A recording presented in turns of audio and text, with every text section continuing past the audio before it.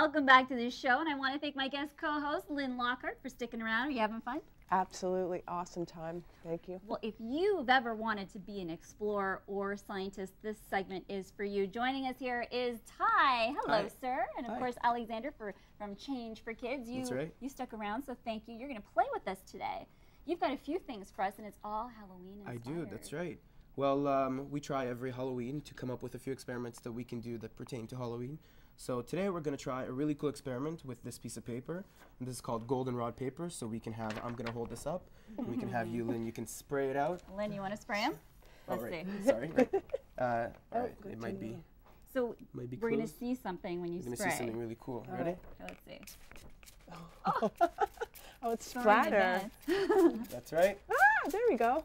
I'm so glad that I wasn't holding the paper. It's okay. It's just baking Got soda it? and water.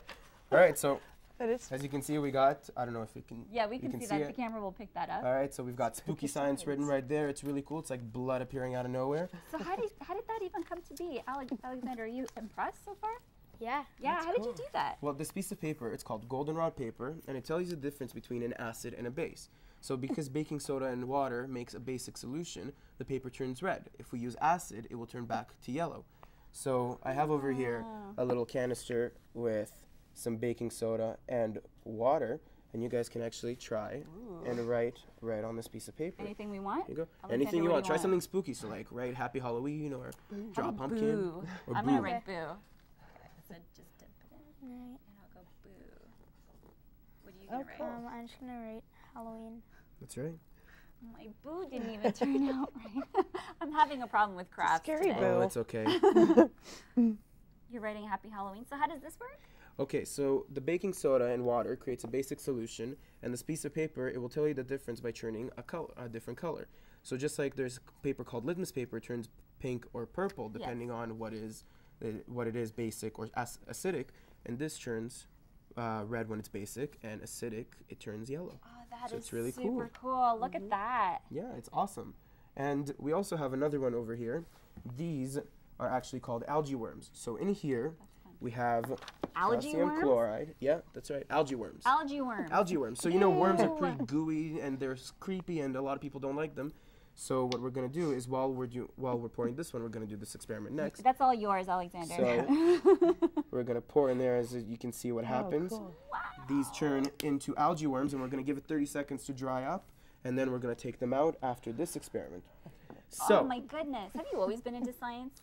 I have been always into science, and I started doing this about two years ago, and I got really into it. And it's a great activity for kids because what they do is they get to try all the experiments together, and then they actually can actually take the knowledge into the real world. And a lot of the times when they go to school, they can tell the teacher, "Oh, I learned this at a birthday party that I did once," and they go, "Oh, well, what'd you learn?" Well, I know the goldenrod paper tells me the difference between an acid and a base. You're making science fun. We are. We try to get science as fun as possible, and actually, our slogan is "We're Chamelea Center, the Center for Science, Art, and Fun for Kids." that is so true. Yeah. Okay, what, what's next? All right, so our last experiment, this one is really, really cool. And it's messy, I hear. It's pretty messy, so we're gonna move all of this away. No, you don't have to Okay. stand back, but it's actually really cool. so over here, we have a few Are you things. scared? You should be scared. Because this, this is witch's brew. So we're gonna create witch's brew right now. And we actually have a nickname for it. This is called elephant toothpaste. You'll understand why in a second. Okay. So here inside we have hydrogen, per, um, hydrogen peroxide. It's H2O2. It's a really awesome chemical. And what we're going to do is we're going to create a solution of yeast and water because it needs we need something to start it, right? So over here, I have some water. I'm learning so much. Oh, it's going to be really cool. So we're going to put the yeast into here, right? About, well, we can do about a tablespoon and a half. don't know how much to use. It matter? Um, it's experimentation, but most of the time it's you know you um, you have to try try and fail. So we make that, and we are gonna let the yeast rise. Here, you can mix it for now while we're talking, and while he's doing that, I'm gonna pour inside a little bit of soap, green soap. green soap. That's not really gonna do anything. Oh. What we're actually gonna do is we're gonna enhance the color with some Oh. green food coloring. Smells too. It does, but that's because that's a hydrogen peroxide. And in fact, if you've ever gotten a cut as a kid, the hydrogen peroxide is what uh, what healed your cuts. Oh, is that the one that burns? It does. It's terrible. It's really bad. It's really bad and burns and sucks. Right. So you've mixed that. We'll put this solution Good right over job, here for now. And what you can do, Alexander, is you can actually take out the worms using the stick. Use the thin end to take out the worms. And you can show Lynn and Sophia the worms. Ew, Oh. look at that. There you go. You see? So we got some radioactive worms. These are pretty gross, right? And actually, these worms glow in black light. So if we had the lights off, we can put some black light, and you can see these worms glow in the dark. That is so That is terrific cool. for Halloween. That's right. You can cool. decorate your table that way, and kids come up, and you're like, "What is going on here?" All right. So the last one. Uh-huh. All right. You ready? Yes. Some yeast. Let's just put maybe a little bit more in there. Just He's like a chef. He knows exactly how much to put Oh, in his yeah. recipe. well, you know, yeast. You uh, you bake with it. So Yes. technically, we're baking a witch's brew. All right. You ready? Yes. Uh oh. Stand back, Uh-oh. everybody. oh!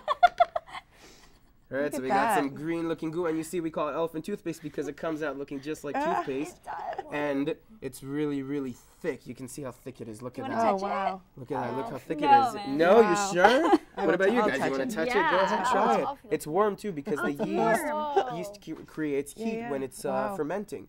And inside the hydrogen peroxide and the yeast, there's a reaction between the catalase in the yeast and the hydrogen peroxide. It makes the yeast start puffing up, just like if you put hydrogen peroxide on your blood, your blood starts bubbling, right? Right, okay. And then it Ew, really? heals. That's right. that. You're so phenomenal, Ty. Thank you so much for Thank you very around. much. Thank Well, you, I would shake your Alexander. hand. I know. Thank you, Alexander, for sti- for sharing your story, and of course, my guest co-host Lynn for showing us your crafts. it you was for like such having a me. Mm-hmm. great day.